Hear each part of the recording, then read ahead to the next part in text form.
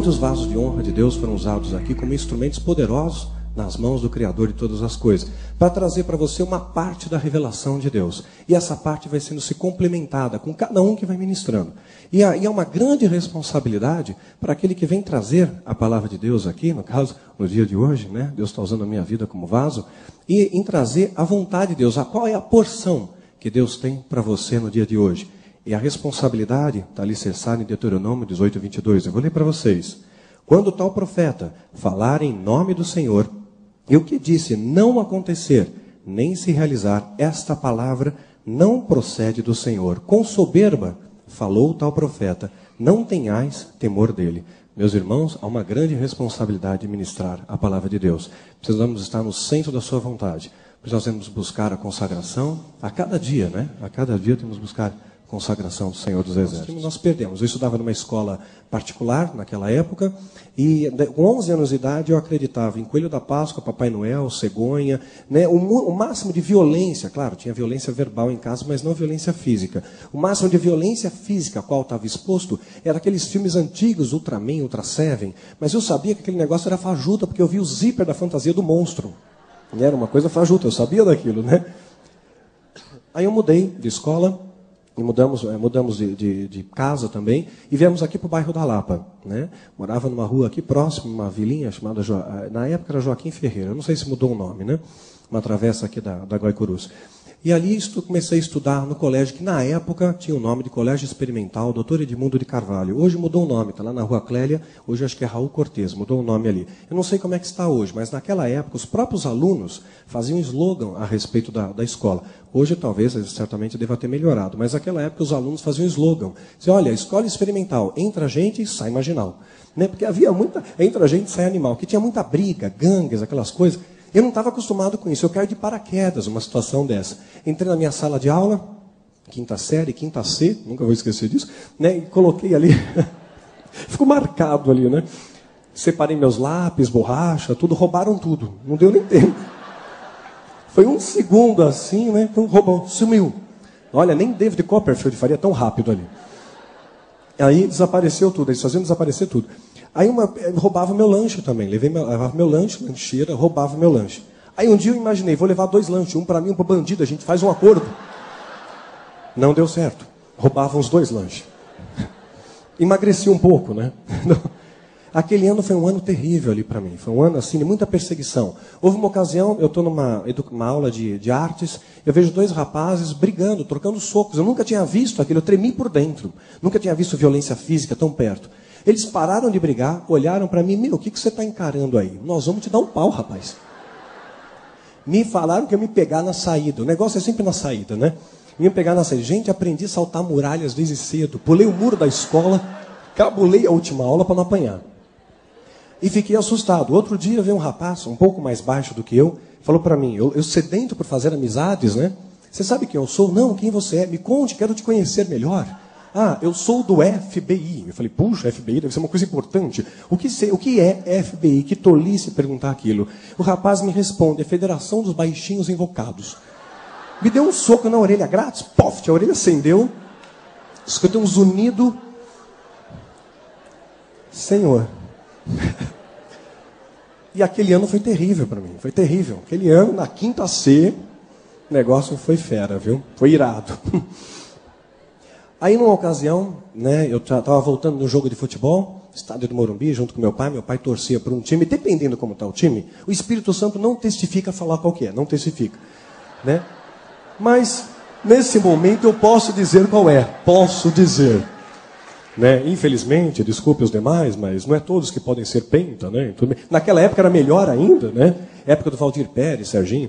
Então, enfim, estava chegando ali é, do, do jogo né? E tinha um rapaz que desceu de uma Kombi, né? O time havia ganho, para variar, né? Gozado, algumas coisas nunca mudam, né? Então, aí, aí eu peguei, ele desceu, todo mundo desceu da Kombi, um rapaz com a mesma camiseta que eu, mesmo nome que eu, criou um elo, torcia para o mesmo time, tínhamos o mesmo nome, era Xará. Ele veio para mim, poxa, que legal, como é que foi o jogo, conversando. Ah, e começou a me apresentar a família dele. Ele morava ali, na, na, na rua ali, na rua ali que eu morava também. E ele falou: ah, vou, apresentar, vou apresentar minha família para você. A família dele, todo mundo era bandido. Ele tinha orgulho daquilo. Falou: olha, meu, olha, Meu pai está preso no Carandiru. Olha a foto no jornal. Tinha um álbum de fotos lá do pai dele no jornal. O meu irmão, o Gil Gomes contou a história do meu irmão. É um tal de Pezão. Acho que ele era o Pezinho, né? Era o filhote da família, era o caçula, né? Contou a história do Pezão e tal. E, tinha muito, e me levou, a, me apresentou a um grupo, né? Uma casa de número 29. Tinha esse nome lá. A, a, a uma gangue que chamava 29. Então eles se reuniam numa casa que tinha o número 29. Aí eu não vou dar endereço, senão vai todo mundo lá. Vai incomodar as pessoas que estão morando, né? Então, é número 29. E as pessoas iam lá. Então, era uma casa abandonada. E, os, e sabe como é que é? Os semelhantes acabam se atraindo. E eles descobriram que tinham menores de rua, pessoas de lares estruturados, se uniram. E a união, além de fazer o açúcar, pode fazer também a força, né? E direcionar aquela força para o mal. Começaram a fazer pequenos delitos, furtos, etc. Eu pego, me enveredo naquilo. Entro naquela e começo, drogas, pequenos furtos, começo a me marginalizar, a ficar à margem da sociedade. Nesse momento, eu estou ali com aproximadamente 16 anos de idade, eu estou passando em frente a uma igreja. Eu escutei um louvor, escutei um louvor. Olha, Deus teria mudado a minha vida naquele momento. Poderia ter transformado a minha história naquele instante, se realmente eu tivesse provado amor. O amor é uma força poderosíssima. Isso, e nós somos templo do Espírito Santo e Deus é amor, né? Nós temos que externar esse amor. Passei em frente a uma igreja, escutei um louvor lindo. Entrei, Entrei para conhecer aquela igreja. Claro, tinha uma aparência que talvez naquela época as pessoas se assustassem. Cabelo comprido, lavava o cabelo com sabão de coco. Na época dava banho em cachorro com sabão de coco, né? Então era bem sedoso, assim, o pente sumia lá dentro. Né? Tinha um bracelete cheio de pontas, era roqueiro, metaleiro, né? E em vez de um cinto na cintura, era uma corrente com um cadeado grande na ponta. Quanto maior o cadeado, mais valente quem o portava. Logo, comprei o maior de todos, andava até penso assim, para mostrar valentia, né?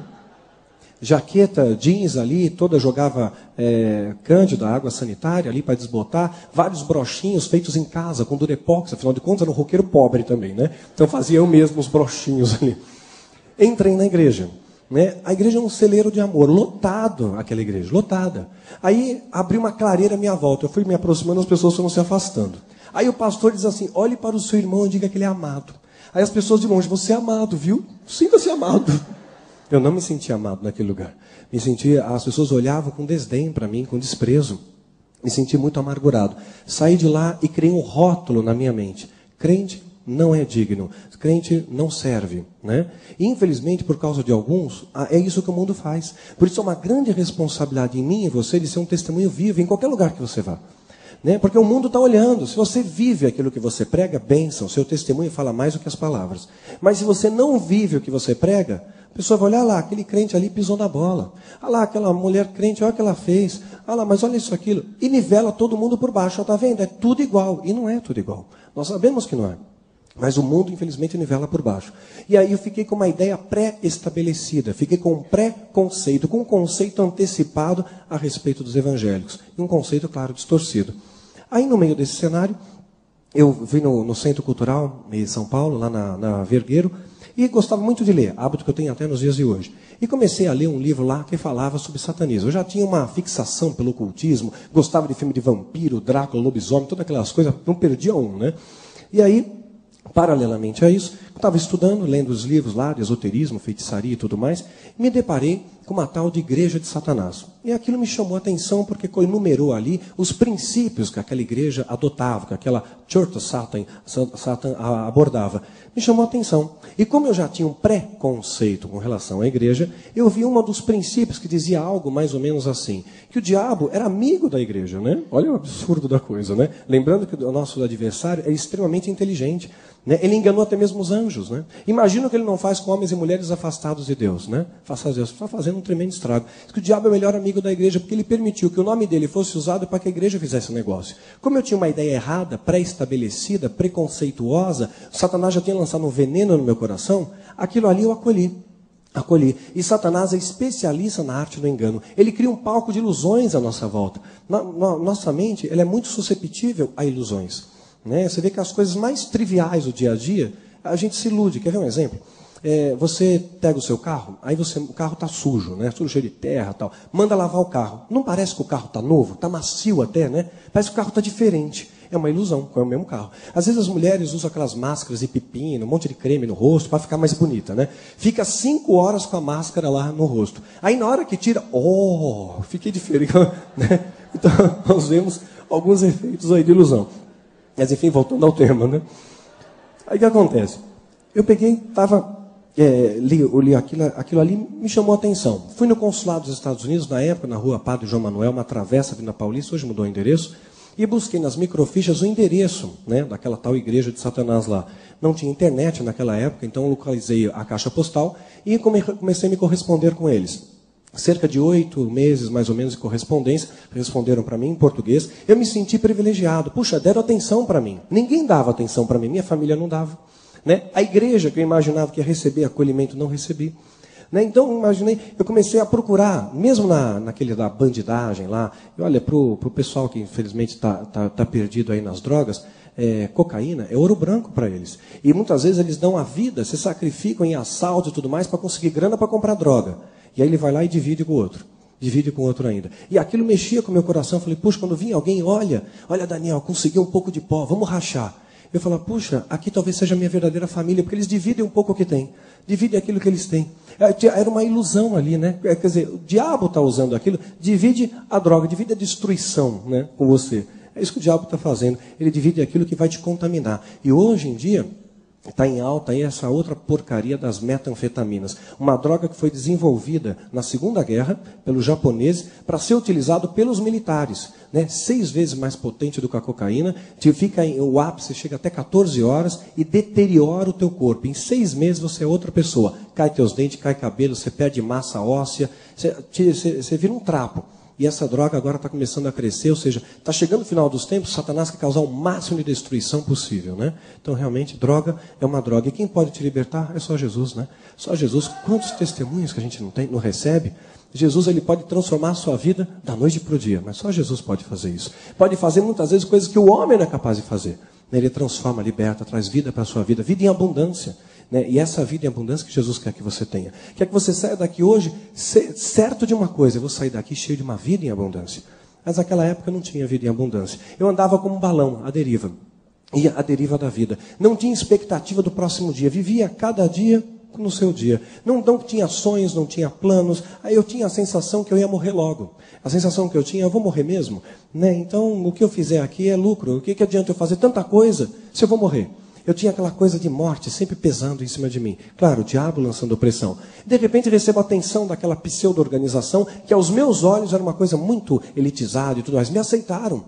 Me aceitaram. Aí alguém fez contato comigo no Brasil e me levou a participar do que eles chamavam de escola de iniciados. Né? São, e, e eu comecei a ter contato com pessoas, empresários, políticos, pessoas de alto poder aquisitivo, e me tratavam muito bem. Eu falei, puxa, não me trataram com preconceito, não olharam para a minha aparência.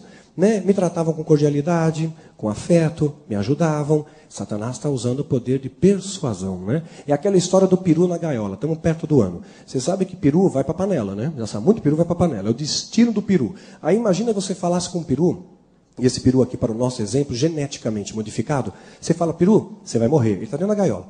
Aí peru, imagina que vou morrer. Olha o tamanho da minha gaiola. O meu pai, aquele que cuida de mim, tem me dado o melhor. Olha quanta ração que eu tenho. Claro, para ele engordar bastante, né? Olha quanta ração que eu tenho. O satanista poderia dizer: Olha quanto dinheiro na minha conta bancária. Olha a mansão que eu moro. Olha o meu carro importado, meu jatinho. Né? Isso é tudo ilusão. Né? Tudo ilusão. Você tem E quem está fora, quem tem o Espírito Santo, vê com muita clareza: Peru, você vai morrer. É panela de fogo e enxofre para você no final do ano. Né? Mas o peru que está lá dentro vai, não acredita nisso, ele está tão é, fagocitado pelo engano, está tão imerso nele, e o poder de engano de Satanás é muito grande. Né? O poder de persuasão, infelizmente, tem muitos aí na granja de Satanás. Muitos aí que estão dentro da gaiola achando que estão livres, mas não estão tão presos. Estão no cativeiro do pecado porque servem ao pecado. Você é escravo daquilo que você serve. Se você não consegue viver sem beber, você é escravo da bebida. Se você não vive sem fumar, você é escravo do fumo. Aquilo que você não consegue se libertar, você é escravo. Jesus te dá liberdade. Só Jesus pode te dar liberdade plena, né? Porque ele morreu porque para que eu e você fôssemos livres, né? Por isso que Jesus morreu, para que nós fôssemos livres através da cruz do Calvário. Aí de repente eu começo a frequentar aquela reunião e o poder de relativismo de Satanás, inclusive como escrevemos Filho do Fogo, nós clamamos a Deus sabedoria do alto, não expusemos a doutrina satânica a fundo, colocamos um verniz ali, é, é pontinha do iceberg, porque é um ser muito inteligente, enganou anjos. Imagina que não faz com homens. O homem afastado de Deus foi subtraído de muitas coisas. Hoje usamos entre 5% a 7% do nosso cérebro, só isso. Né, os, os gênios usam 10%, né, chegaram a usar 10%. Então nós perdemos a nossa inteligência, perdemos uma série de coisas ao ser subtraídos pelo afastamento. A planta longe da luz, né, fica sem, sem, a planta longe da luz, ela resseca, apodrece, perde seu perfume, sua viscosidade. O homem afastado de Deus pelo pecado original acabou se deteriorando também. Aí o que acontece? Fui persuadido. Né? A doutrina satânica é muito persuasiva. Satanás enganou anjos, imagina o que está fazendo com os homens. E dos 5 a 7% que nós temos inteligente, a gente não conhece palavra, né? não conhece Bíblia. Muitas vezes somos um alvo vulnerável pela falta do conhecimento. Perecemos porque nos falta conhecimento. Aí o que acontece nesse cenário? Eu sou bombardeado com relativismo. Ah, veja a luz que te ilumina, que evita que seus pés tropecem em pedra. A luz, ela é produto de dois polos, um negativo e um positivo. Ah, Satanás é só o lado negativo. A minha mente estava sendo bombardeada com relativismo. Inicialmente ele se apresenta igual. Ele é apenas, melhor dizendo, ele é diferente. Apenas algo diferente, mas não negativo ou positivo, apenas diferente. Aí chega um determinado momento que ele já se coloca como superior. Olha, Satanás é mais poderoso do que Deus. Ele se afastou de Deus para ter um reino, ele queria ser semelhante ao Altíssimo. Olha a sua volta, olha quanta destruição, olha quantos estão servindo ao diabo. Né? Em sinal que esse, esse lado é melhor. Começou a me bombardear a mente, eu via pessoas aparentemente dotadas de inteligência e tudo mais, mais inteligentes do que eu, e estão lá então a minha mente estava sendo enganada por, esse, por essa artimanha de Satanás. Aí depois de mais ou menos um ano ali de bombardeio de relativismo, eu passo a fazer parte das cerimônias de iniciação. Na cerimônia de iniciação, fui recrutado aos 17, aos 18 anos, fiz parte da cerimônia de iniciação no satanismo, e ali começou um período de cativeiro muito forte na minha vida. E eu louvo a Deus a cada dia, cada manhã eu agradeço a Deus por ter sido liberto desse inferno na terra. Escrevemos, Filho do Fogo. Amém. Louvado a Deus. Escrevi Filho do Fogo debaixo de uma direção de Deus, mas não reli não. Hoje eu só quero saber dos anjos do Senhor, né? Sabemos que é um instrumento de bênção, de evangelismo. As livrarias que compram os livros da editora, é, seculares, né? Então a Saraiva, Nobel, Cultura, colocam ele normalmente classificado na, na, área de esoterismo. Aí o aspirante de feito, isso quem classifica é a livraria, né? não é a editora que decide isso. E aí o, o, aspirante de feiticeiro vai lá, pega o livro descortinado da alta magia, príncipe aprender a fazer bruxaria, né? Aí ele se converte. Então a gente vê a bênção que é um instrumento de Deus, né? Instrumento e a honra e glória de Deus, de Jesus Cristo. A honra e glória é só dele. Aí eu estava tava ali naquele período bombardeado, faz, foi feita a cerimônia de iniciação. Na cerimônia de iniciação você recebe algo como se fosse uma oferta. A terminologia que eles usam é outra, mas é como se fosse uma oferta. Então eles te dão um valor ali e com aquele dinheiro você vai abrir uma empresa. O logotipo, a logomarca é consagrado aos demônios, a Satanás, ou então você vai entrar numa empresa cujo dono ou presidente já é um satanista. É claro, eu acabei ah, indo para a segunda opção e tive uma ascensão meteórica na empresa que eu trabalhava. E ali que aconteceu? Comecei a ser iludido completamente que eu estava no lugar certo estava tendo a ilusão de prosperidade, mas estava me levando para o fundo do poço, né? Estava tendo a ilusão de prosperidade, a ilusão de que tava, tinha certos poderes, né? Tinha um tal de um demônio que dizia que era o meu guardião, se apresentava como um tal de abraxas, né? E dizia que era o meu guardião, meu protetor, o abraxas ali. E ali eu, ele, dizia que era, ele dizia que ele era meu amigo, dizia que era meu protetor, mas eu nunca escutei o demônio dizendo eu te amo. Eles são incapazes de dizer isso, né? Só Jesus pode dizer isso, porque Jesus é amor, né? Deus é amor. E ali naquele cenário, eu comecei a fazer amizades, comecei a, a, a aprender coisas do lado negativo. E, claro, o investimento é muito grande na destru... é claro, preparo global né, para a vinda do anticristo. Para isso, vão usar vários subterfúgios, coisas que nós citamos nos nossos seminários. Né, não, não há tempo para desenvolver isso aqui. E aí, e uma, uma principal, o outro objetivo, o segundo objetivo, claro, é atacar ministérios, igrejas, porque a igreja é força de resistência, né? Então eles precisam atacar igrejas, infiltrar nas igrejas, porque igreja é força de resistência. E muitas vezes eu me infiltrei em igrejas, né? Igrejas ali que estavam pregando a palavra de Deus me infiltravam em igreja para sondar. Lembro de uma ocasião, acabei entrando com um grupo numa igreja no bairro de Interlagos, né, que nós, eh, em 10 satanistas, comigo 10 entraram naquela igreja e nos espalhamos. Haviam 500 membros ali, nos espalhamos. Os demônios entraram junto. Poxa, o demônio entrou na igreja? Aí que entra a nossa autoridade espiritual. Demônio é legalista. É um bicho extremamente legalista. Então, se você começar uma reunião de oração, um culto, uma célula, e você tem que usar a sua autoridade em dizer, Senhor, aqui a tua palavra está sendo ministrada, demônio algum vai se manifestar aqui, faz separação de luz e trevas, que a tua luz seja abundante, aqui onde piso a planta dos nossos pés é terra santa. Que esse local seja como farol do reino do Espírito, o diabo não pode nem olhar para cá. Ponto final. Se você não ora nesse sentido, o demônio ele ganha legalidade.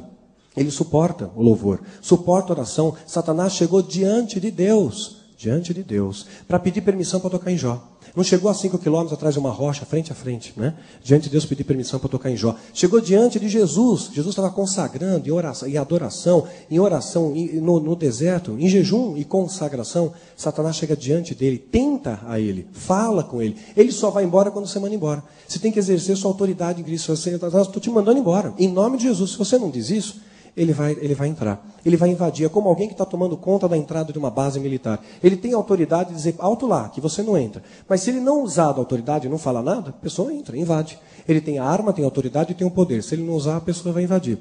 Então, na mesma coisa, no âmbito espiritual. Nós temos o poder de oferecer resistência a Satanás, né? Estando sujeito a Deus, você fez a sua oração, acabou. Todo feitiço, encantamento vai cair por terra. Se você não ora, não ora nesse sentido de, de exercer a sua autoridade, você dá uma legalidade para ele. Deus, abençoa o culto, fala conosco. Legal, o demônio está lá, ninguém falou comigo, ninguém deu a ordem para ir embora. Então nós temos que de, determinar essa ordem. Aí o bicho vai embora. Aí ele não vai tocar a sua vida. Entramos ali naquela igreja, espalhamos. O pastor recebeu discernimento do Espírito Santo e falou: entraram satanistas aqui. E hoje essas vidas serão libertas.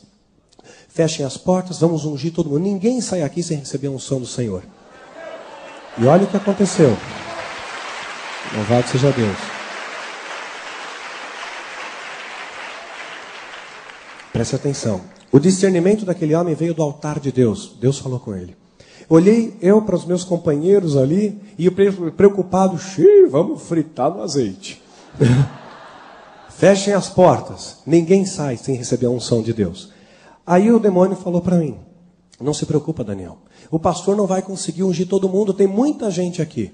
Ele vai precisar de ajuda. Pega aquela fila lá, é do tesoureiro da igreja, está roubando a igreja, não tem autoridade nenhuma. Pegamos aquela fila. E aquela fila foi só óleo, tirou com o papel, não fez efeito nenhum. É necessário autoridade espiritual para ministrar as coisas do Senhor. Sem coração ligado a Deus, são meros rituais. É melhor obedecer do que sacrificar. Não funciona. Não funciona. Pegamos aquela filha e não teve problema algum. Satanás conhece o seu pecado. Então não adianta você dizer, está amarrado, mas você não tem poder para amarrar. Né? Você não conquistou autoridade, você não tem o distintivo ali de polícia, dizer está amarrado. Nem sempre quando você está amarrado, você amarra. Lembra dos exorcistas judeus ambulantes? Eu desconjuro em nome de Jesus a quem Paulo prega. O que, que o demônio responde? Sei quem é Jesus. Bem sei quem é Paulo. Mas você quem é? Surra nele, né? Tomaram um pau ali. Né? Por quê? Não é, não, palavras apenas não funcionam na batalha espiritual. Seu coração tem que estar ligado a Deus, senão não funciona. Não é passe de mágica, né? Mas é, é, a unção, e a unção ela vem de obediência, né? E você tem que guardar a frase. Para que a unção de Deus se manifeste em você, você tem que estar obediente a Deus, porque tem aqueles que uns são obedientes, outros não. Quem não é obediente não tem unção. Aí você não esquece mais, tem que estar no centro para receber a unção de Deus, a autoridade de Deus. A autoridade vem do alto, mas tem que estar no centro, senão não alcança. Aí eu comecei a ter aquela ilusão de, puxa, olha só, é, o diabo é mais poderoso.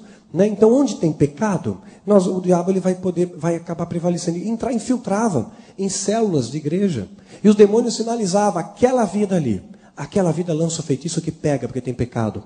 Aquela, o feitiço precisa de um ponto de contato, maldição sem causa, não encontra pouso. Entrava numa reunião de oração, ganhava simpatia rápido das pessoas, tinha mais poder aquisitivo, pagava pizza para os jovens, isso aquilo, espalhava boatos, ganhava confiança, dizia, combinado, dois ou três ali, satanistas junto. Olha, vou dizer uma coisa, falava para os jovens ali numa reunião de oração. Olha, sabe que hoje eu estava voltando para casa. Você acredita que eu vi o pastor da nossa igreja saindo de um motel com uma jovem e o outro do lado? Ah, eu também vi. Pronto. Bastou um boato para espalhar como raço de pólvora, né? Se eu falar que o pastor fulano é uma bênção, um homem de Deus, acabou. Segredo, ninguém passa para diante. Mas se falar qualquer coisa pejorativa, misericórdia, come como raço de pólvora. Você tem que guardar um versículo que está na Bíblia. A gente quer ser feliz, quer desfrutar da vida, quer, quer gozar da abundância do Senhor. 1 Pedro 3,10. Quer desfrutar da vida e ter dias felizes? Refreie sua língua do mal e seus lábios não falem engano. Então você quer ser feliz? Não espalha fofoca, não espalha contenda. E Deus abomina quem semeia contenda entre irmãos. Contenda significa é, divergências, né? E abominar é repelir com horror. Deus detesta isso. Detesta, porque seus lábios podem ser usados para promover a unidade, a paz, a, a integridade do corpo de Cristo. Devemos respeitar as nossas diferenças doutrinárias, porque o que nos une é o amor. É o amor que nos une. E o inimigo ele quer enfraquecer, dividir o exército de Deus, porque casa dividida não prevalece. Ele sabe disso. Aí o que, que ele fazia? espalhava boatos muito rápido. E olha, os muçulmanos eles são muito criteriosos nisso, são regidos pelo Corão, lá o Alcorão. Se o muçulmano falar mal de outro e não tiver quatro testemunhas idôneas para provar o que ele falou, 80 chibatadas, 80. Imagina isso no evangélico, né? Eu tenho irmão com um jergão nas costas. Alguns porção dobrada, quem sabe? Né? Imagina uma coisa dessa. Aí eu, eu, lançava um feitiço ali, numa reunião, aquele pega. O demônio pode causar doenças, pode. Né? Nós vezes tem farto material bíblico para isso. Mas nem toda doença vem do diabo. Né? Tem doenças de causas naturais também. Aquela história, né? Se for toda doença do diabo, então se tomou Doril, está com dor? Tomou Doril, o diabo fugiu. Nada disso, né? Então significa que você teve uma cefaleia, causa natural, vai regredir com medicamento, né?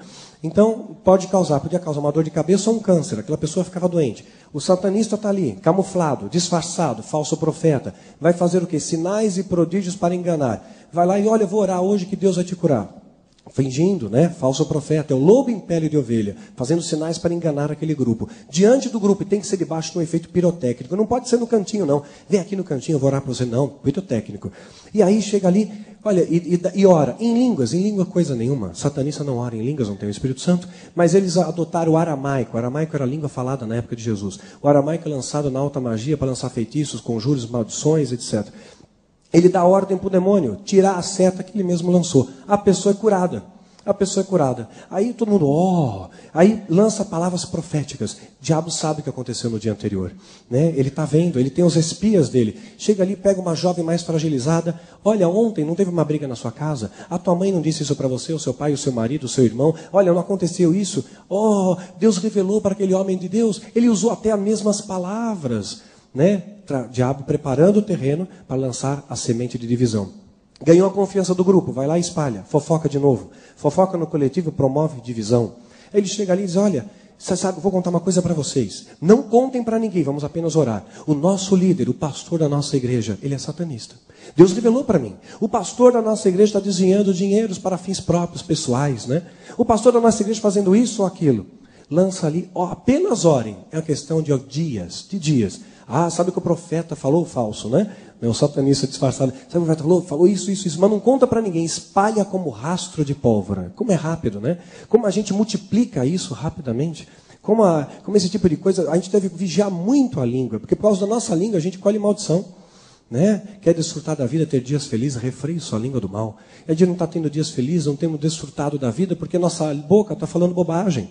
Né? Vamos usar nossos lábios para enaltecer a Deus e trazer honra e glória ao, ao, reino de Deus. Né? Isso é fundamental. Aí causava divisão. E a divisão ela é promovida por fofoca.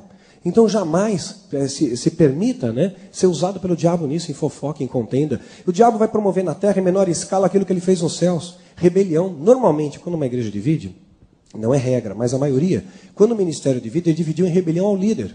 Jamais se rebele contra o seu líder. Honre o seu pastor, ore pelo seu pastor, abençoe o seu pastor.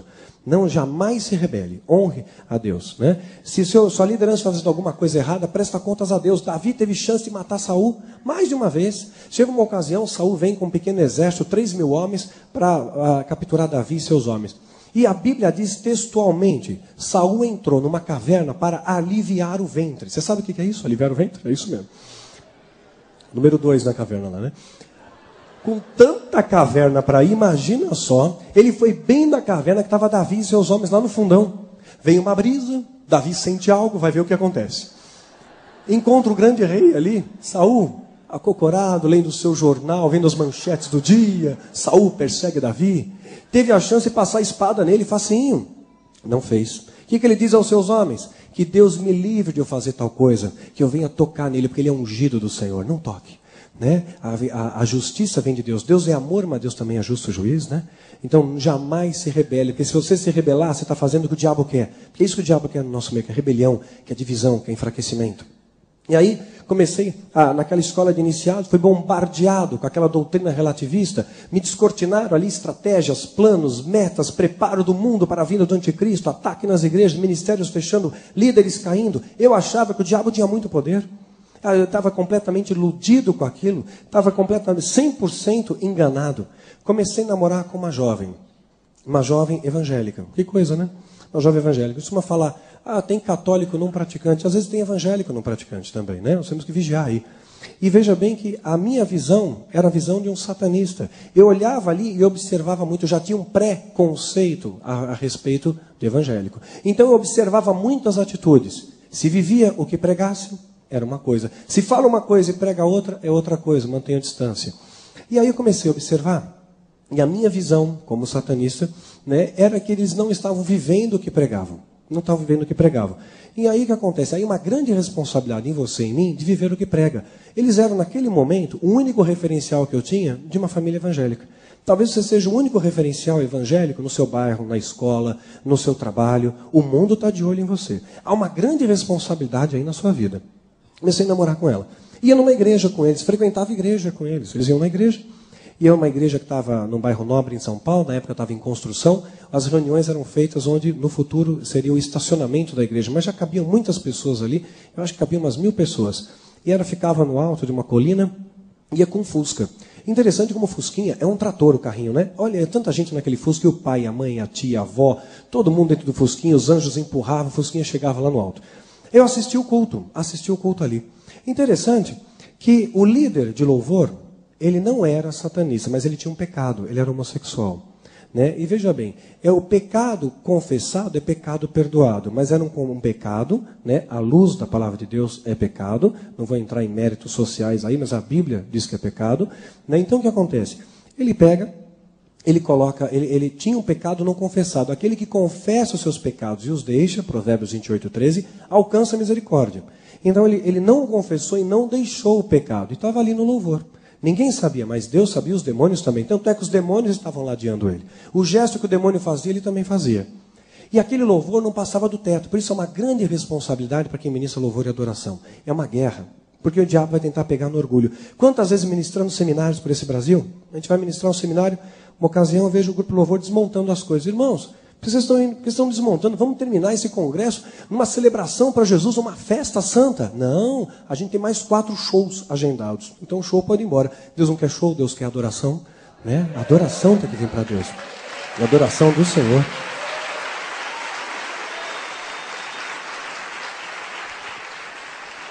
Uma outra ocasião, repare uma coisa, não é uma regra, claro que não, mas isso está acontecendo com uma certa frequência, e eu tenho a direção de Deus de sinalizar isso. Você vai num congresso, não importa qual seja a temática do congresso, de batalha, de intercessão, de louvor, não importa a temática do congresso. Repare uma coisa, não, não é uma regra, graças a Deus, mas está começando a acontecer com uma certa frequência, eu tenho a obrigação diante de Deus de sinalizar. Você vê o grupo de louvor, está ministrando, né? Isso na abertura do congresso. Durante a palavra, a palavra está sendo dita, e o Espírito Santo está falando, Deus está ministrando. Cadê o louvor? Está comendo cachorro quente, pipoca, está lá fora, saiu. Aí depois do intervalo, oh, louvor, tem que achar o pessoal, aí volta né, para o púlpito, ah, santo, santo, santo, né? E aí está fazendo o quê? Não é louvor. Está transformando o púlpito em palco, né? Está fazendo do louvor é, para chamar a atenção, para si mesmo e não para dar honra e glória a Deus. Deus não pode operar em ambiente sujo, queridos, não pode. Muitas vezes você vai acabar indo em, em lugares e você não vai receber a plenitude do que Deus tem para você por causa de pecado. Pecado que muitas vezes está nos bastidores que você não vê. Existe uma grande responsabilidade de quem organiza um congresso, qualquer que seja a temática.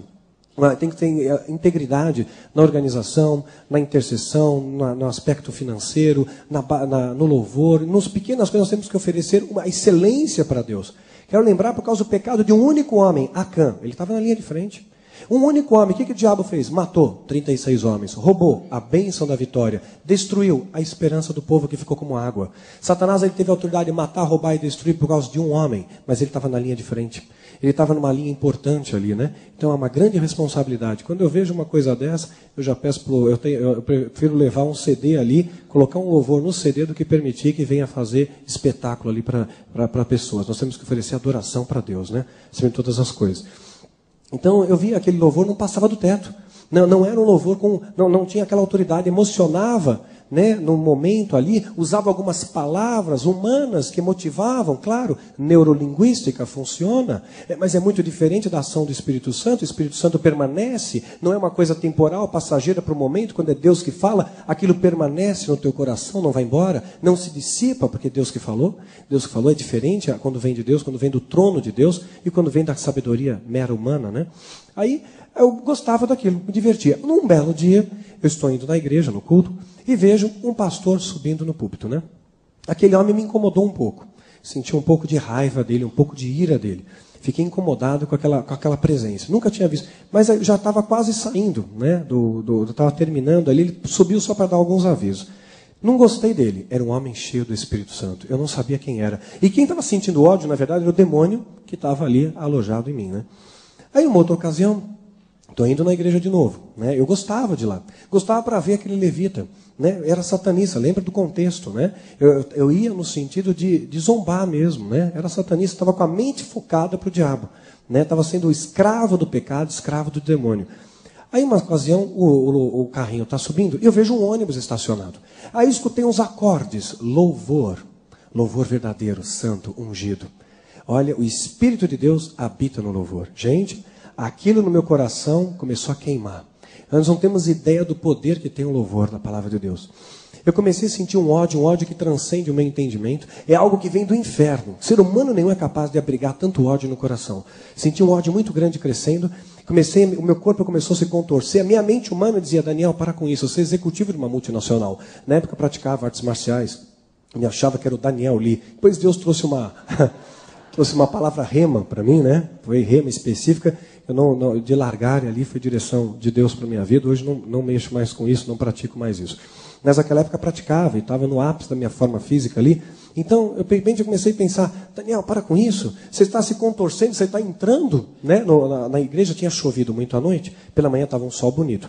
E tava, tinha muita lama ali. E eu comecei a entrar no pátio da igreja, me contorcendo todo ali, né? Uma maneira estranha de entrar. Eu falei, está chamando atenção mas não conseguia controlar. Eu estava à ordem, mas o corpo não obedecia. Aí começaram a fazer uma rodinha na minha volta. Veio um, dois, três, quatro, cinco, fizeram uma roda na minha volta.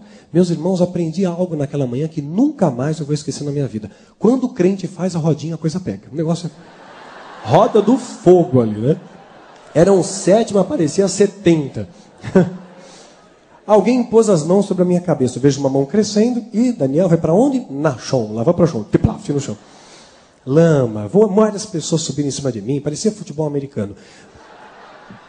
Depois, vocês riram, não foi com vocês. Aí depois disso, depois que Filho do Fogo foi lançado, pessoas que estavam lá naquela igreja escreveram para mim: Ah, Daniel, sei quem é você. Eu estava lá também, eu vi lá você caindo na chão, na lama, eu vi e tal. E todos me contaram a mesma história, então posso tomar como verdadeira. Disseram que oito pessoas foram necessárias para me segurar. Oito pessoas estavam me segurando ali porque a, a entidade que estava canalizando o meu corpo tinha muita força. É uma característica do, do verdadeiro a possessão demoníaca também. Né? A gente vê o demoniado gadareno, nem um grilhão, nem uma corrente poderia subjugar. Então tem uma força realmente sobrenatural. Oito pessoas estavam me segurando. E uma das pessoas era o que mais tentava expulsar o demônio. Demônio, vai embora dele, eu te exorto, vai, e agora vai embora, e falando um monte de coisa, e deita, pula, rola, dando várias ordens ali para o demônio. E, e, aí as pessoas me escreveram que o demônio falou através da minha vida e usou um timbre de cordas vocais que minhas cordas não poderiam reproduzir e disse como se fosse uma voz de um leão. Disse para aquele homem, lembrando que Satanás é como o leão, não é um leão, né? Mas ele se assemelha ao leão e não é um leão sem dentes. Leão é um símbolo de poder. Lembrando disso, nosso adversário tem poderes limitados, evidentemente, mas não é um leão sem dentes. Aí o que acontece? Por isso que a Bíblia diz, orar e vigiar sem cessar. Diz que a nossa luta não é contra o sangue e carne, mas contra principados e potestades. Então existe uma luta, existe um confronto. Temos que estar preparados para essa luta, para combater um bom combate, e aí sim, ser verdadeiramente mais do que vencedores. Aí o que acontece? Aquele homem que está falando, o demônio disse para ele, você não tem autoridade contra mim, homem. Você está adulterando a tua esposa, em nome de duas mulheres. Gente, ficou feio. Para enfrentar o bicho, vestes brancas. O diabo jogar teu pecado na tua cara para enfrentar principados, potestades, você tem que estar com a sua vida limpa. O sacerdote, para entrar na presença de Deus, no Santo dos Santos, para entrar ali no tabernáculo, tinha que estar limpo. Não podia ter sujeira. Você, para entrar na presença de Deus e ser usado por Deus como instrumento de bênção, tem que estar limpo. Deus é santo, Deus é puro, né? Deus é limpo. O médico que vai fazer uma cirurgia, ele não pode usar um bisturi sujo, não é verdade? Tem que ser um instrumento limpo. Para você ser instrumento de bênção nas mãos de Deus, tem que estar limpo, tem que estar santificado. Senão não funciona. Repare uma coisa aqui, um parente. O que, que Josué faz antes de entrar na terra de Jericó? Qual é a estratégia de Deus? Ir lá, sapatear, jogar óleo, fazer guerra, declarar? Não. 3, Josué 3,5: Santificai-vos, pois amanhã o Senhor fará maravilhas no meio de vós. A guerra começa no coração, santificação. Aqui é o maior campo de batalha. Nessa dentro. Depois, Josué 5,3. Ele pega agora e vai circuncidar né? Toda aquela geração, né? Toda geração pegou faca de pederneira e circuncidou os filhos de Israel em Gibeal, Teralote. Ele vai circuncidar aquela geração porque para alinhar com os preceitos da palavra de Deus, mortificou a carne, faz parte da santificação, mortificar a sua carne, dizer não para aquilo que a sua carne quer e sim para a vontade de Deus. Depois ele prova do sobrenatural de Deus, maravilha, né? Aí ele prova, aí sim ele começa a provar o sobrenatural de Deus, e aí ainda dá ordem para fechar a boca, aquela coisa de 1 Pedro 3,10, né? Não falem nada, não gritem, com a boca a gente perde a bênção. E aí conquistaram a terra. Esse é o procedimento para a conquista de qualquer ela que seja. Mas o principal das conquistas começa pelo seu coração, pela santificação. Tem que vir de dentro para fora. Nem pense em tentar conquistar qualquer coisa lá fora se aqui dentro não está conquistado. Não está 100% Jesus, tem que ser 100% Jesus aqui dentro. Aí você vai ter autoridade lá fora. Primeiro lugar, busca o reino de Deus, o resto é consequência, né? Aí que acontece? Estou naquele cenário, caído no chão, o demônio fala para o homem, o homem vai embora. Recobra a consciência. Vejo várias pessoas em cima de mim, parecia futebol americano, alguém urra no meu ouvido. Qual é o seu nome? Qual é o seu nome? Achei uma maneira meio indelicada de perguntar meu nome, né? Caído no chão, fazendo peso ali, mas eu respondi com educação, Daniel. Pessoa preocupada, Daniel, ih, está manifestando demônio. Procura na Bíblia aí, vê se tem algum demônio com esse nome. Falta de conhecimento, né? Se ele conhecesse a Bíblia, ia saber que não tem. Aí ele pega, é, afrouxam, quando afrouxam o peso, as pessoas se levantam, eu me levanto também. Quando eu me levantei, escutei um som, plopt. Esse som foi o som ao descolar a minha orelha da lama. Tinha muita lama no chão, minha cabeça prensada, ao plopt. Vejo a minha orelha lá no chão, desenhada na lama. Gente, me senti extremamente humilhado. Aquela família que estava ali me acompanhando parecia um Simpson, estava com os olhos esbugalhados assim, assustados com aquela situação. Eu não sabia o que fazer. Né, eu estava ali, caído, eu só queria ir embora. Só queria ir embora. E escutava ali a, pessoa afinando a guitarra, ia ter mais louvor. Eu falei, eu vou cair de novo, né? Vou cair de novo, né? Aí uma pessoa disse para mim, olha, Daniel, você tem que aceitar Jesus, rapaz. Né? Deus trouxe você aqui com um propósito. Eu falei, se eu aceitar Jesus, eu posso ir embora? Pode, porque aí Deus já cumpriu o propósito na sua vida. Ah, então tá bom. Diz aí que eu tenho que fazer, que eu preciso ir embora. Eu preciso ir embora. Está afinando a guitarra, vou cair de novo. Olha, repete comigo essa oração. Aceito o Senhor Jesus como meu Senhor e Salvador. Repeti. Foi fácil, macio, sem problema nenhum. Sabe por quê? Ele não foi específico na oração. Não siga oração modelo. Quando Deus fizer você levar a orar por alguém, abra a boca e o Espírito Santo vai encher. Não sei, a oração para conversão, a 43, isso, aquilo. Você, você o Espírito Santo e mobiliza o Espírito Santo. Deus ele, ele, pode usar multiformas de agir, né? Multiformas de agir, até cuspir na lama e jogar no olho ali. Deus pode fazer multiformas, né? É claro que a gente deve ponderar isso. Eu escutei uma, uma história aí que tem um ministério agora, Sagrada Saliva, que passa um som no guspe, né? Uma coisa diferente aí. Então, receba, pá, a pessoa cai no poder ainda. Então, não, não, isso daí eu não, não vi base bíblica ainda, mas, enfim, vamos entrar no mérito, né? Mas tem algumas coisas diferentes, alguns fogos estranhos aparecendo às vezes por aí. Aí, voltando então ao prumo. Eles pegam, cai, cai ali, a pessoa me, me, chama e fala: você tem que aceitar Jesus. Repito a oração, repito aquela oração modelo. Eu mesmo conheci o Jesus quando eu morava aqui no bairro da Pompeia. Ele tinha uma banca de jornal, era o jornaleiro, né, chamava Jesus. Até os, os, garotos faziam trocadilhos. Vamos perguntar para Jesus se hoje vai chover. Ele olha no jornal a previsão do tempo e dizia, né? Então, aquilo ali, ele não foi específico. Ele disse: se aceita Jesus, o Cristo, o Verbo que se fez carne, aquele que foi crucificado, que ressuscitou o terceiro dia, príncipe da paz, Senhor dos senhores, está à destra do Pai, para ser o Senhor absoluto da tua vida. Meus irmãos, eu ia tremelicar e cair na chão de novo, mas ia levantar liberto. Algo novo aconteceria na minha vida, né? Ia levantar liberto. Não foi assim. Aí o que aconteceu? Ele me despediu, tá bom, então agora pode ir embora. Claro, a macarronada naquele domingo aconteceu mais cedo. Eu estou dentro do Fusquinha, todo mundo dentro do Fusca, aquele silêncio sepulcral. Agora imagina, ninguém sabia o que falar. Eu estava todo cheio de lama, todo sujo ali, né? É lama no ouvido, todo, todo é, pingando ainda, melecado. E quando você não sabe o que falar, sobre o que, que a gente fala? A gente tece comentários sobre o tempo, né? Ah, lindo dia, não, pensei, lindo dia para cair na chão, lama, tudo mais, não achei muito lindo. Cheguei na casa deles, ligaram louvor. Aí alguém diz: Louvor não, meu, você está louco? O cara está aí, louvor não. Desliga o negócio. Falta de conhecimento, né? Falta de conhecimento da palavra de Deus. Medo. Quando você conhece a Deus, você sabe que é maior aquele que está no seu coração do que aquele que está no mundo, né? Isso é fruto de conhecimento. A geração de Moisés viu o sobrenatural de Deus, viu maná, coluna de fogo, as pragas do Egito, o mar abrindo. Na hora que Deus pediu fé para eles, faltou fé. Foram aquele crente bully, morreram no deserto, ali crente de pouca fé. Em vez de conquistar a bênção, né? Olha só que Satanás inverteu a polaridade. Eles acreditaram que eles eram pequenininhos como gafanhoto. Não, o inimigo é gigante, nós somos gafanhoto. Inverteu a polaridade. É maior inimigo do que eles. Né? Satanás tem um poder de persuasão muito grande, né? E eles estavam ali por falta de conhecimento acabaram então entendendo que o demônio talvez fosse muito mais poderoso, mas não é. Poderoso é Jesus, né? Poderoso é nosso Deus. jamais a criatura vai ser mais poderosa que o Criador. É absurdo isso. Não é?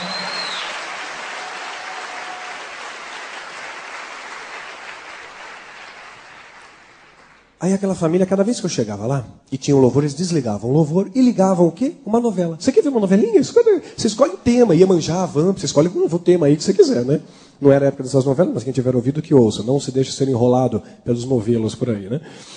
E você vê sempre o, o, herói da novela é a pessoa com os valores mais invertidos, né? Então, veja só o estereótipo que eles colocam para nós como herói, como referencial. A gente vê isso muito à nossa volta aí. Aí, voltando, eu peguei e fiquei pensando com aquele negócio na minha cabeça. Puxa vida, caí. Eu não devia ter caído. O demônio não é poderoso, não está por cima da carne seca, não é o rei da cocada preta. Eu preciso ser mais forte. Os demônios têm que me ajudar. Fui lá, falei com pessoas ligadas à Irmandade, sacerdotes, somos sacerdotes, e falei com eles.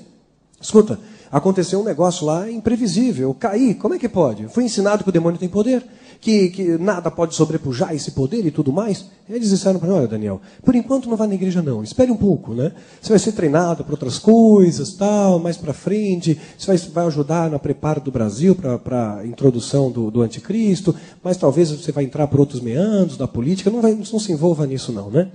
Isso é fórum meu, é direção rema para mim, eu não me envolvo com política, isso é, é, é direção específica de Deus para mim.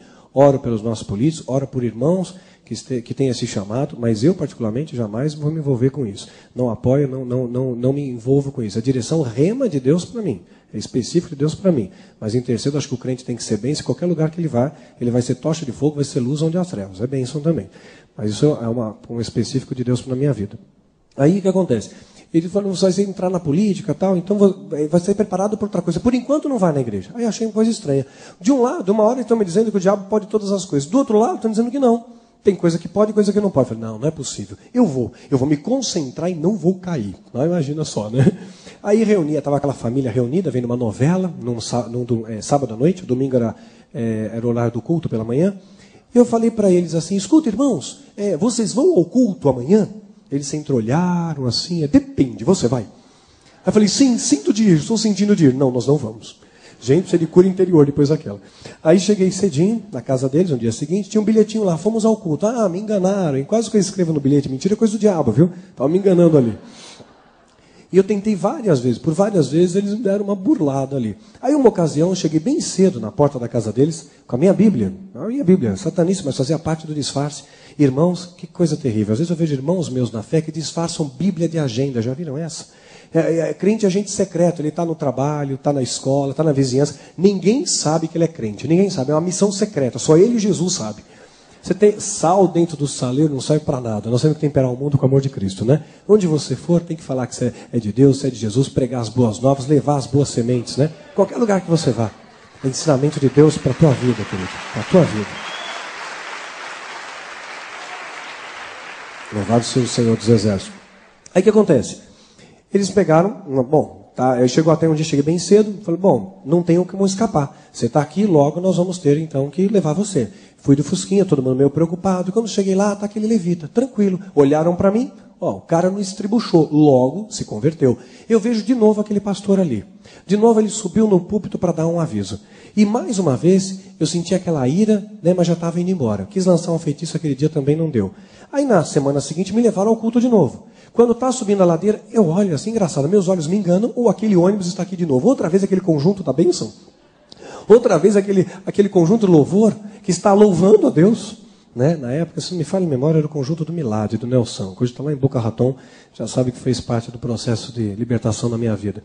E ali, né, eu, eu lembro ainda do, da, dos acordes, né, cantava, é meu, somente meu, todo o trabalho, e o teu trabalho é somente descansar em mim. Aquele, naquele momento, aquelas palavras me faziam sentir um ódio tremendo. Hoje essas palavras me fazem chorar, porque eu vejo como é precioso, né, ser chamado amigo de Deus descansar nos braços do Senhor. Isso é fruto de confiança, né? Você se jogar nos braços do Senhor e saber que Ele vai sempre te sustentar, te proteger, te guardar. Ali eu peguei, fui ah, ali, veja que louvor, claro, caí no chão de novo, macarronada mais cedo. A moça, então, que namorava comigo, preocupada, marcou um encontro comigo, justo com aquele pastor, que, que eu tinha sentido muito ódio. Né? Justo com aquele que os demônios estavam com ódio. E eu falei que ótimo, marcou encontro com a pessoa certa. Vou lançar um feitiço nele, ele morre, acabou o problema. Passei a noite inteira fazendo feitiço. Gente, que bênção que é ser filho de Deus. Você tem acesso à sala do trono em qualquer lugar que você esteja. Na rua, no trem, no ônibus, no metrô, linha direta com a sala do trono. Agora, com o capeta o negócio é complicado. Tem que ter o pentagrama, tem que estar apontado para a direção, tem que ter o guento, o caldeirão, a, a varinha e aquele monte de parafernália lá. para o capeta ver. Ainda vem, ainda cheira mal o negócio, né? Aí, aí tudo é fedido. Então, aí, peguei e lancei os feitiços e tinha certeza né, que, que ia matar um homem. Aí fui no escritório da igreja, a igreja tem um escritório, uma parte administrativa, fiquei esperando ali uma hora, duas horas, três horas, o pastor não foi. Pensei, logo, morreu. No dia seguinte eu estou na empresa que eu trabalhava, tocou o telefone, era secretária da igreja. Paz o Senhor, diga. Olha, o pastor não foi, ele sofreu um problema. Acho que um dos filhos dele sofreu um acidente ali, mas glória a Deus foi só um acidente, né? E assim, foi um susto, melhor dizendo, não houve nenhum dano. Falei, puxa, fiz alguma coisa errada, né? Tá bom, vamos remarcar. Remarquei. Aí passa um tempo, chamei mais gente a me ajudar no satanismo, cada um na ponta de um pentagrama, cinco feiticeiros a noite inteira lá, aquela parafernália toda de feitiço. E tinha certeza que o homem ia morrer. Aí vou no segunda vez no encontro. Passa uma hora, duas horas, três horas, o homem não vai. No dia seguinte eu estou no, no, escritório onde eu trabalhava, toco o telefone, secretária da igreja. Paz o Senhor, diga. Olha, o pastor não foi encontro, né? Eu pensei que meus botões, claro, defunto não vem encontro, né? Olha, mas ele sofreu, infelizmente não deu, mas ele sofreu um acidente. Você acredita? Foi um acidente, ele bateu o carro. Falei, puxa, bateu o carro? Foi sério? Olha, deu perda total, PT. Falei, puxa, se não morreu, está internado em algum hospital. Falei, ah, é? E me diz uma coisa, ele está em algum hospital? Não, você sabe que não aconteceu nada com ele? Glória a Deus. Sofreu nem um arranhão.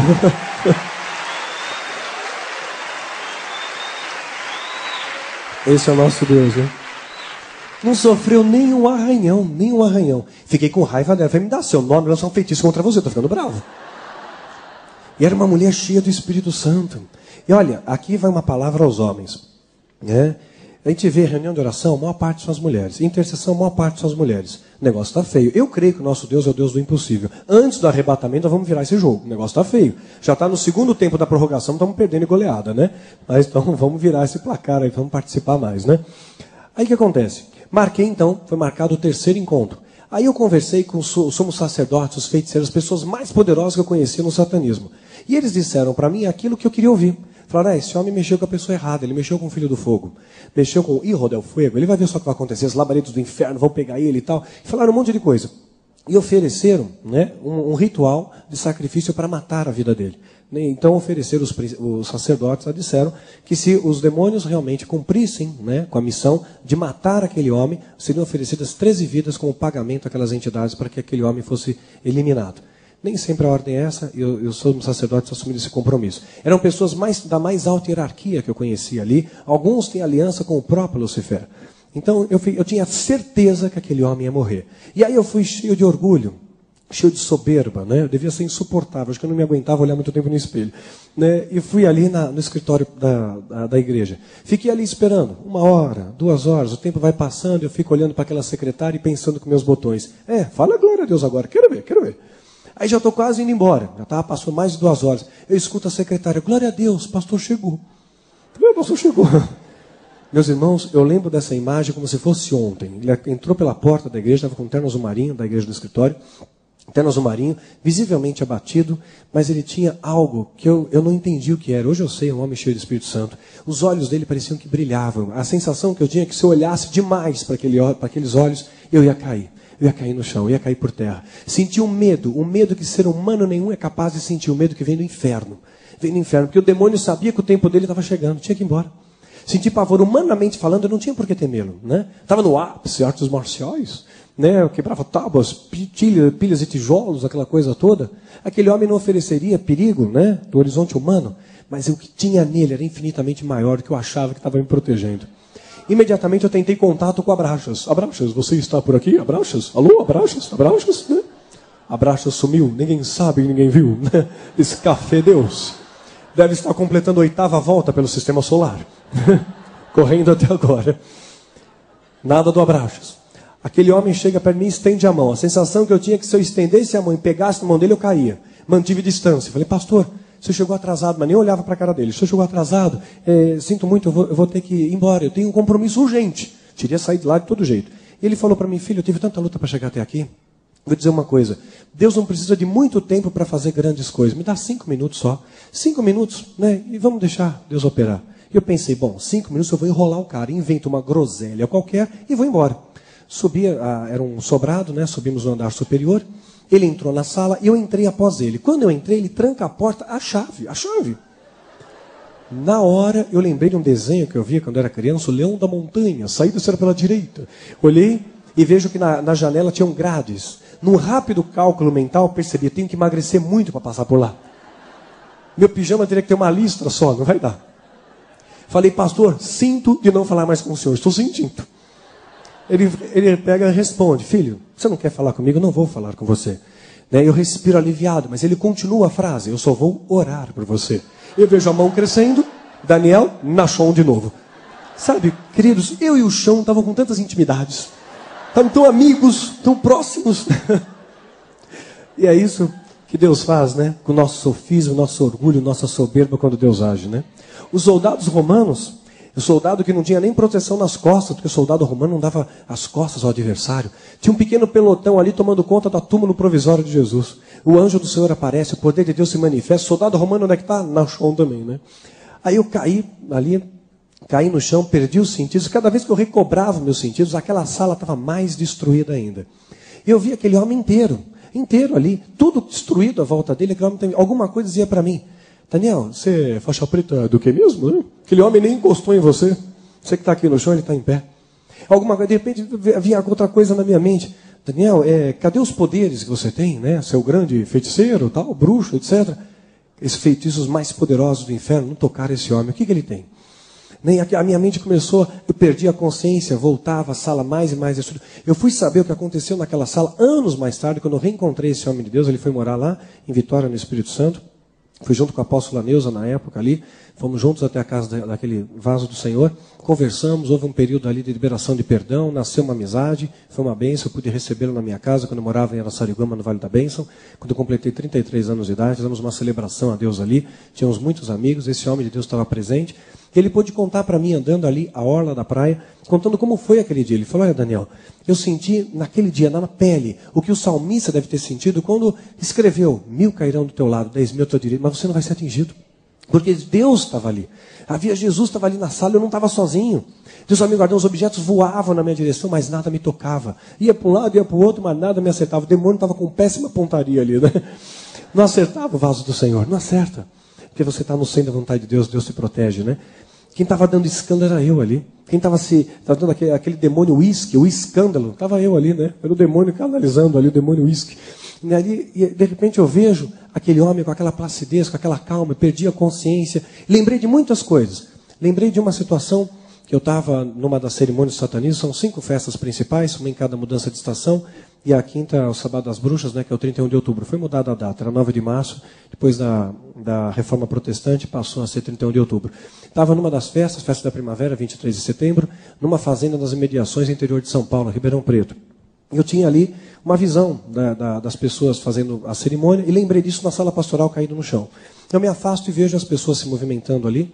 E de repente eu, eu tinha o livre-arbítrio naquele momento da cerimônia em participar ou não. Nem sempre tinha, né? Mas naquele momento eu tinha. E me lembro disso na sala pastoral caído no chão. Eu vejo o sol nascendo. O céu começou a, a despontar e veio uma, uma, algo falando no meu coração: Daniel, tá vendo esse sol? Esse sol que aquece a tua pele.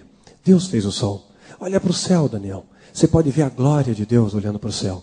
Eu sempre fui muito relativista, né? sempre muito tentando ser muito racional, né? e Deus falou de uma linguagem que eu pude entender. Havia um celeiro ali. Ele falou, Daniel, tá vendo esse celeiro? Tá, se você entrar no celeiro e ver o celeiro tudo organizado, arrumadinho, o que, que você pensa? Ora, alguém toma conta do celeiro. Ele não está largado, mas se você entrar e tiver tudo bagunçado, sujo, desorganizado, claro, o celeiro está abandonado. Evidente, olha para o céu, Daniel. O céu é perfeito né? o, movimento de rotação, de translação, a órbita dos planetas, o campo gravitacional é tudo perfeito. Um dia tem exatamente 23 horas, 56 minutos e 4 segundos. Tudo é perfeito. Deus fez essa perfeição e mantém essa perfeição funcionando. Quando você olhar para o céu, você vê a obra da criação de Deus. Hoje o homem, com tanta tecnologia, não somos capazes de, de criar em laboratório uma bactéria sequer. O homem é incapaz de criar coisas, criar e fazer do, algo do nada absoluto. Deus fez todas as coisas. O homem não é capaz de reproduzir uma simples pétala de rosa não é capaz de fazer isso. Deus fez todas as coisas. Eu tentei me fugir daquela ideia. Está vendo essa grama que tá sobre, você está sentado sobre ela? Deus fez a grama. E aí eu comecei a contorcer minha mente, tentar não pensar naquilo. Estava lá na cerimônia e alguma coisa dizia: você estava no lugar errado, Daniel. Não quero você aqui. Né? Deus fez todas as coisas. O diabo não é capaz de fazer um capim sequer. E lembro disso na sala daquele pastor. Olhei para ele, aquele homem tinha uma alegria, sabe, um sorriso aberto, largo, tinha olhos cheios de alegria, e eu não tinha alegria.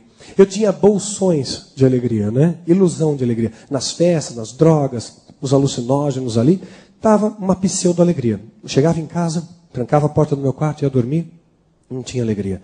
Tinha pesadelo, tinha noites eternas, tinha insônia, não podia cortar meu dedo, aquilo para mim já era uma coisa trágica, ver sangue me traumatizava. Muitas vezes eu andava pelo, pela rua, via o dia, o sol maravilhoso, me sentia imerecedor do sol. Falei, Deus, eu não mereço nem esse sol.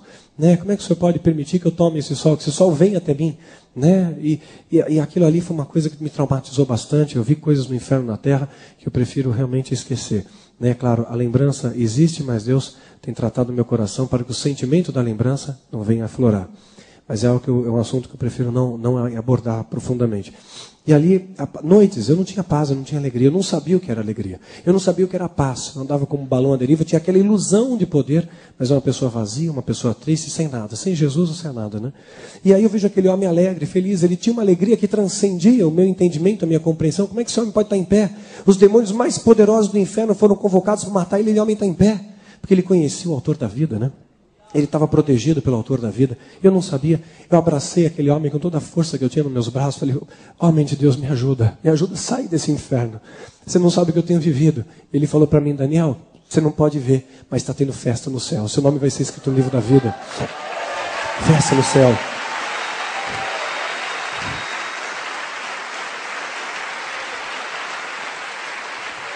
Ele disse, ele disse para mim, falou, falou, Daniel, você consegue imaginar o tamanho de Deus? Eu falei, não consigo imaginar, pastor. Deve ser infinito. Esse é o tamanho do buraco, do abismo que está no teu coração. É infinito. Nada preenche. Nada vai preencher. Só Jesus é o encaixe perfeito. Só Jesus vai encaixar aí. Só Jesus. Eu falei, mas pastor, você não sabe quem eu sou, não sabe o que eu fiz? Ele falou, não importa, hoje as portas da Jerusalém se abrem, Jesus vai te abrir, vai abrir os braços e você vai ser bem-vindo à sala do trono. E eu nunca tinha escutado aquilo que eu era bem-vindo em algum lugar. Sempre que eu chegava, as pessoas se afastavam de mim. As pessoas tinham medo, mesmo depois que me converti. Foi um período de tratamento de Deus. As pessoas que sabiam da minha história se afastavam de mim também, porque achavam que os demônios iam pegar, ia ter retaliação e tudo mais. E hoje eu louvo a Deus pelas alianças que o Pai tem me dado, pelos amigos, pela minha liderança, pelo pastor Birajara, pelo Sérgio, pela Ediane, pelo André, pela Karen, por pessoas que têm estado ao nosso lado, têm feito diferença, né? Pelo Dourado, pela, pela, amigos que a gente tem feito aí por esse imenso Brasil. Louvo a Deus por tudo isso. Mas no começo foi um tratamento de Deus ali, né? Ali, aquela sala pastoral, abracei aquele homem, me ajuda, me ajuda a sair. Me ajuda a sair. Ele pegou, me abraçou, falou: Hoje Jesus, hoje vai, vai te curar, vai te libertar. Quando você sair daqui, você vai olhar para cima, não vai ver apenas um Deus, não. É um Pai que nunca vai te abandonar. Eu, ele me ajudou a fazer oração. Ele orava e repetia, ele orava e repetia. Foi muito difícil aquela oração, eu caí, é, perdi a consciência muitas vezes, me machuquei. Mas quando eu dei o amém final, queridos, eu fui invadido no meu coração por uma paz e por uma alegria que eu não troco por nada desse mundo. Não tem preço. Não tem preço. Tem o selo do Cordeiro. Não tem preço.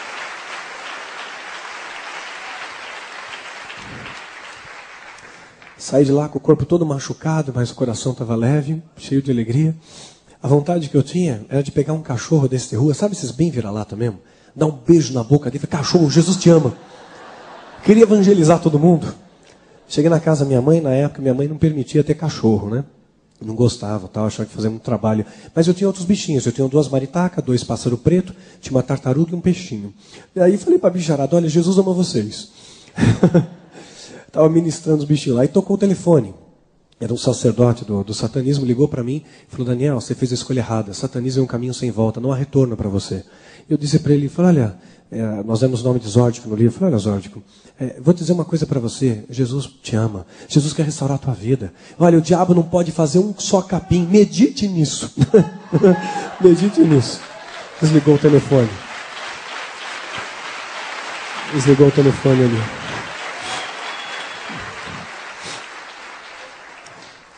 Aí eu fui dormir. Aquela noite, queridos, foi a primeira de muitas noites que eu vinha dormir bem. Eu não dormia direito. Muitas pessoas às vezes compram um colchão, mas não pode comprar o sono. Eu não tinha sono, eu tinha pesadelo. Todos os dias eu tinha pesadelo, todos os dias. Gritos, sons ficavam na minha cabeça. E aquela noite foi uma noite de paz e tranquilidade. Eu me senti somente sustentado pelos braços de Jesus. Acordei feliz, alegre, fui dar bom dia aos meus bichinhos, hábito que eu tenho de fazer até hoje, né? E aí fui ver todos os bichinhos estavam mortos ali. Para quem tem um animal de estimação em casa, sabe que o animal se torna uma extensão da família, né? Então eu tinha muito amor para aqueles bichinhos. E todos eles estavam mortos. Me cortou o coração aquele. O diabo ainda, por encantamento, ainda matou outros animais nossos, até que nós aprendemos alguns princípios espirituais, né? Que a gente compartilha nos seminários. E hoje, graças a Deus, o diabo não toca nem no bigode do meu gato, né? Mas apanhamos um pouco para aprender. Aí toca o telefone de novo. De novo aquele sacerdote, os órdicos. Seus animais morreram, né? E eu comecei a chorar, falei, morreram. Por que, que vocês fizeram isso? Esse, o próximo é você. Hoje você tem um compromisso conosco. Eu tinha uma cerimônia que eu tinha que participar lá. Você tem um compromisso, uma cerimônia que eu estava evitando a todo custo, né? E eu estava procrastinando ali. E Deus sabia todas as coisas. Eu ia ter que fazer algo que eu não queria fazer. E Deus está no controle da história, né? É Deus que controla, não é o diabo que controla. Me resgatou no tempo certo, no momento certo. Antes que eu tivesse talvez um trauma permanente na minha vida, sei lá o que ia acontecer. Mas Deus me livrou do laço do passarinheiro. Aí, aquele homem falou para mim: você tem uma cerimônia conosco, você tem um compromisso hoje conosco, né? E a data astrológica, cabalística, tudo preparado lá, né? Falei, nós vamos se buscar na sua casa. Morava aqui perto, né? Algumas quadras aqui. Ali uma travessa vindo da Pompeia, é, perto ali da, do Hospital São Camilo. E ele disse, nós vamos se buscar na sua casa. Normalmente os locais onde eles me buscavam eram em frente à igreja, lá, a igreja católica, fica ao lado do hospital. Passavam com o veículo e me levavam até a, as reuniões lá, etc. E naquele dia disseram, vamos te buscar na sua casa. Eu tive muito medo, né? Confesso a vocês, tive muito medo. Peguei minha bicicleta e pedalei até o Parque de Ibirapuera. E estacionei a bicicleta em frente ao batalhão do Exército. Falei, quero ver me pegar aqui feito o Exército. que ingenuidade, né? Achava que o Exército ia me guardar. Parei ali, o guarda vem com muito amor para mim falou, você não pode ficar aqui não. Só 100 metros da guarita. Mas 100 metros da guarita, vão me pegar. Não, não, você vai tomar tiro se ficar aqui. Não, tiro não, a gente conversa.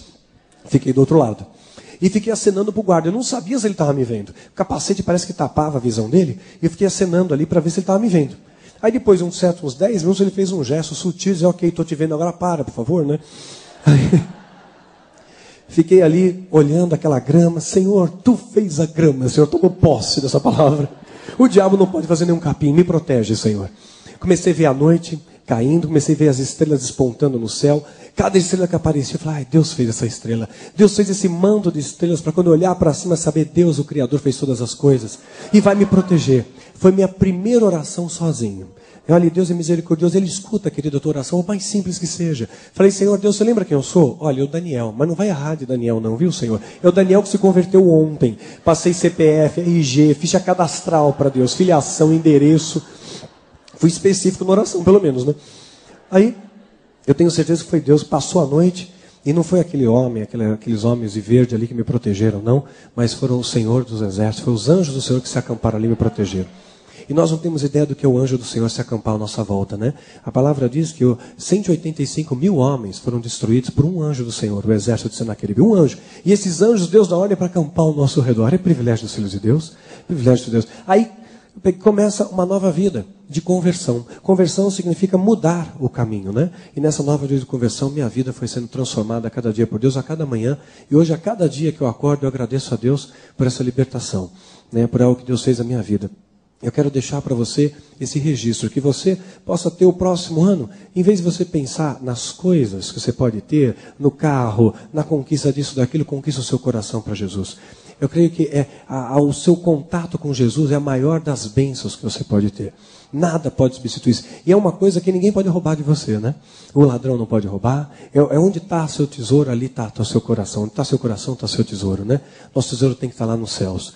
Que isso seja uma palavra profética de incentivo na sua vida. Que maior é aquele que está em ti do que aquele que está no mundo. Né? Que nosso Deus é o Deus do impossível. Que podem cair dez mil de um lado, mil do outro, mas você não vai ser atingido, que você é filho de Deus que as bênçãos do Senhor vão te acompanhar por onde quer que você vá. As bênçãos vão te acompanhar. Você será bendito ao entrar e bendito ao sair. Eu profetizo isso na tua vida, que você tenha um ano de vitória, de bênção e que seu coração seja cheio, cheio do Espírito Santo de Deus. É isso que eu tenho para a tua vida hoje. Em nome de Jesus. Louvado seja o nome do Senhor Jesus.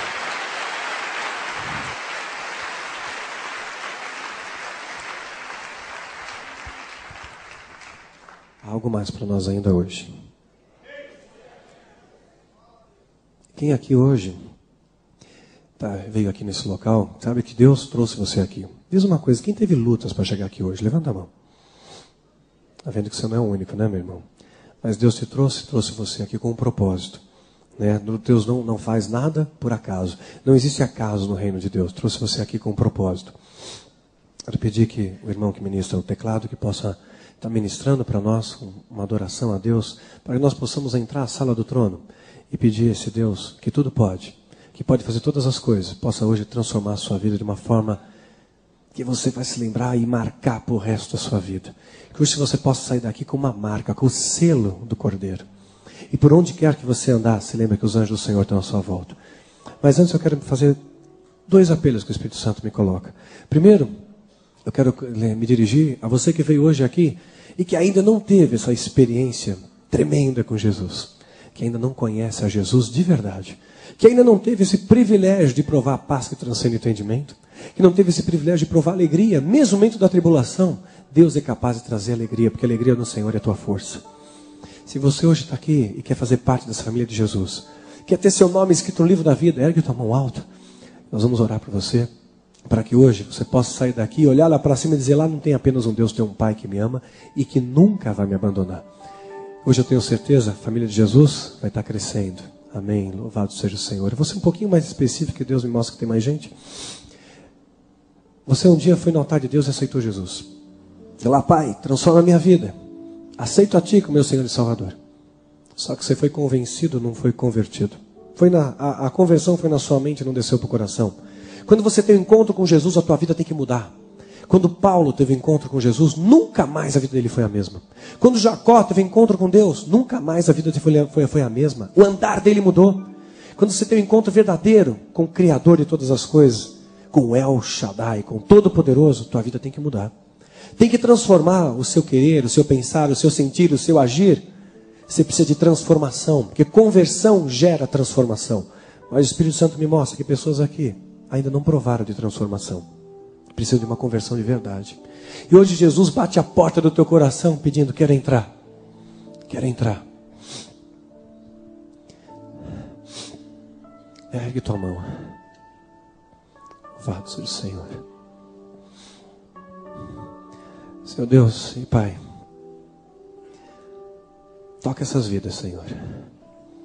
Toca essas vidas de uma forma especial. A você que está em casa, a você que está assistindo esse DVD, que você seja tocado pelo poder do Espírito Santo. Que hoje você possa ter um, um voto diante de Deus. Minha vida não vai mais ser a mesma. Eu sou chamado amigo de Deus. Ergue tua mão, segura nas mãos do Pai, que é isso que Jesus faz conosco. Você é bem-vindo à sala do trono. Você senta-se à mesa com o rei. E a toalha da graça de Deus cobre o seu pecado, cobre a sua transgressão, cobre as suas falhas. Você é privilegiado em fazer parte da família de Jesus. Esse é o maior bem que você pode ter na sua vida, ser chamado amigo de Deus. Não há privilégio maior nessa terra do que ter Jesus como seu amigo, seu aliado. E olhar para o alto e saber que tem um pai que me ama, que nunca vai me abandonar. Que a partir de hoje você tem um novo caminhar com Jesus. E você que ergueu a mão, repete comigo essa oração. Senhor Deus e Pai, eu te recebo. Eu te recebo a Jesus o Cristo, o Verbo que se fez carne.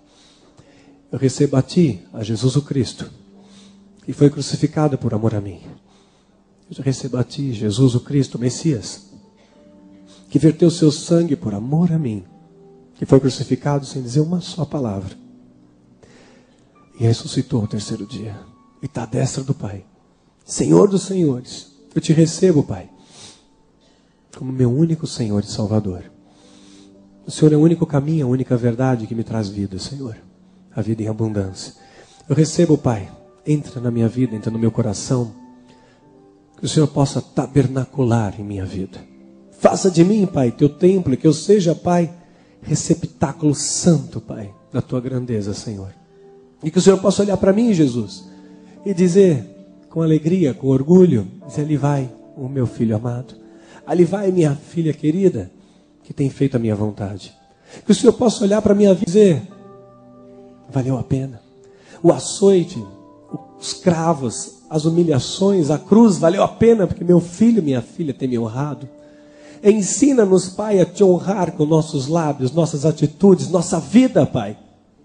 Que nossas vidas hoje, Pai, sejam consagradas diante do teu altar, Senhor, em nome de Jesus. Nós entregamos nossas vidas diante de ti, Senhor. Muda o meu querer, o meu sentir, o meu agir, o meu pensar, Senhor. Transforma a minha vida. Que hoje eu possa provar, Deus, a paz que transcende entendimento, a alegria que somente um filho de Deus pode ter. Me ajuda, Senhor. Me ajuda a ser um vaso de honra, um carvalho de justiça. Cada dia eu te recebo, Senhor. Hoje eu sou chamado amigo de Deus. Em nome de Jesus, está selada essa oração. Hoje o inferno está sendo saqueado. Sendo saqueado. Você é nova criatura. Você é nova criatura em Cristo. Louvado seja o teu santo nome.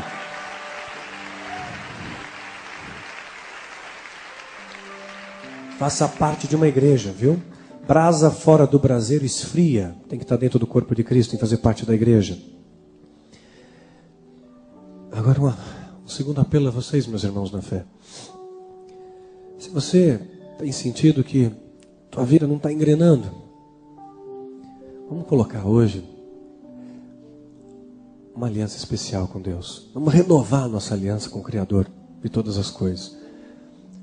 Se hoje você sente que realmente você está precisando renovar essa aliança com Deus e ser cheio do Espírito Santo novamente, fique em pé onde você está. Vamos buscar de Deus a plenitude do Espírito Santo. Pai Celestial, nos ajuda, Deus, nas nossas fraquezas, Senhor. Nós nos posicionamos, Pai, diante do Teu altar, Senhor, em humildade, Pai. E pedimos, Espírito Santo de Deus, nos ajuda na maior e mais difícil das conquistas, Senhor Conquista, Pai, nossos corações para Ti, Senhor. Oh Pai, que nós possamos viver o cristianismo, Pai, não apenas de falar, Senhor. Ó Pai, que nós possamos conhecer a Ti, de ver com os nossos olhos, Pai, ver o Teu sobrenatural, o Teu toque, Teu amor a cada dia, a cada manhã. Resgata, Paizinho, em nosso meio os princípios da igreja primitiva, Senhor. Que nós possamos verdadeiramente ajudar mais uns aos outros, Senhor. Ó oh, Pai, porque aquele que tem o poder de fazer o bem diz: passe amanhã. Isso não é cristianismo, Pai. Quantas vezes nós cantamos, precioso és para mim, querido irmão, mas encontramos com o irmão na rua, nem cumprimentamos, Senhor. Ó oh, Pai, nos faça provar um cristianismo verdadeiro, Senhor, onde o amor de Cristo flui em nosso meio, Pai. Profetizo, Pai, na vida de cada um dos meus irmãos, que o próximo ano será ano de vitória, porque terão corações inflamados pelo Teu amor, Senhor cheios do teu poder, da tua unção, Pai. Enche esses corações, reacende a chama da fé, Pai, daqueles que já não tinham mais fé. Coloca, Pai, amor nesses corações, Pai, corações que já estavam sentindo esvaindo o amor. Ó oh, Pai Celestial, restaura os lares, as famílias, Senhor. Que essa é a maior das nossas conquistas, Pai. Que todo o resto vai vir depois. Que em primeiro lugar, Deus, nós possamos procurar o Seu reino, Senhor. Enche, Pai, esses vasos de honra com uma nova porção do Teu Espírito Santo, Senhor. E se há algum pecado que tem incomodado a tua vida, esse é o momento de confessar. Abra teus lábios e confessa diante do altar de Deus, que pecado confessado é pecado perdoado. Deus inclina os ouvidos para ouvir nossas petições. E que o acusador nunca mais venha te tocar com isso. Nunca mais venha te acusar daquela área que você não tem conseguido vencer, porque hoje você vai conseguir pelo poder do Espírito Santo. Hoje vai conseguir pelo poder da oração em concordância, onde dois concordam na terra, está ligado nos céus. Eu acho que nós somos mais de mil aqui. Está ligado nos céus essa oração? Hoje tua vida vai ser diferente. Pai Celestial, aqueles que precisam, Pai, de um toque especial, toca, Jesus. Ô oh, Pai, abra os olhos dos teus filhos, Pai, para que possam ver os seus querubins à nossa volta, Senhor. Para que possam ver os seus anjos aqui que nos ladeiam, que nos protegem, que nos guardam, Senhor. Para que rios de água viva do teu amor fluam em nosso meio, Senhor e nós possamos sair daqui com uma certeza: nós somos mais, mais, mais do que vencedores, por meio daquele que nos ama. Nós saímos hoje daqui, Paizinho, como tochas de fogo. Ó Pai, que esse amor seja multiplicado nessa nação, Senhor. Que a conquista desses corações, Pai, seja algo perene no teu reino, Senhor. E que seja um fator multiplicador, que você possa conquistar muitas vidas para Jesus. Com a tua vida, com o teu testemunho com aquilo que você vive, com aquilo que você prega. Que o Espírito Santo hoje esteja derramando uma nova unção para a tua vida, um bálsamo. E é no nome santo de Jesus que nós louvamos e te agradecemos, Pai. Obrigado, Jesus. Recebe, Pai, a nossa adoração, Senhor. É para ti, Jesus. Santo, santo, santo, a terra toda será cheia da tua glória. A começar de nossos corações, Senhor. Obrigado, Jesus. Obrigado, Senhor. Nós te amamos, Jesus. Nós te amamos, Pai. Nós te amamos. És bem-vindo em nosso meio, Paizinho. Recebe a nossa adoração, porque hoje é dia de vitória. Hoje o inferno está sendo envergonhado e o reino de Deus exaltado. Que eis que o exército está nascendo. Há um remanescente fiel nessa nação que está sacudindo o inferno, que vai conquistar vidas, lares para Jesus, cidades para Jesus. O inferno está tendo uma grande surpresa, porque é isso que o exército de Deus está se movimentando. Você está aqui para fazer parte da história, guerreiro. Você não está vendo a história passar, não. Você faz parte, você foi escolhido por Deus desde o ventre materno para fazer parte dessa história de restauração. Obrigado, Pai, por esse banquete na tua presença, Jesus. Nós te amamos, Pai. Nós te amamos, Jesus. Obrigado, Jesus. Obrigado, Pai. Obrigado, Jesus. Obrigado, Jesus. Oh, Ashuri, Andali Balahai, Zuruta Bacalharais. A tua unção é palpável em nosso meio, Pai. Podemos tocar a orla de Suas vestes. Que você possa tocar a orla da veste do Senhor e ser curado daquele trauma, daquela dor, das palavras que feriram teu coração. Recebe, porque hoje é dia de cura na tua vida, de libertação. Você é livre.